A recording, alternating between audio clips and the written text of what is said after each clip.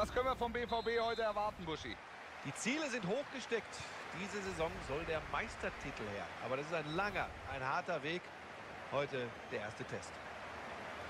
Schauen wir auf die Formation. Wird ein 3-4-3 heute bei Ihnen. Ja, das auch noch sehr...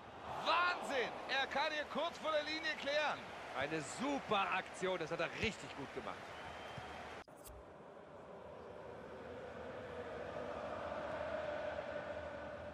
Marc Bartra.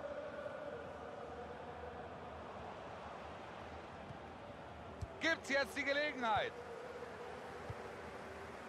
Borussia Dortmund spielt heute gegen Bayern München. Das Team mit der besten Heimbilanz gegen das Team mit der besten Auswärtsbilanz. Und das dürfte spannend werden. Die einen stark zu Hause, die anderen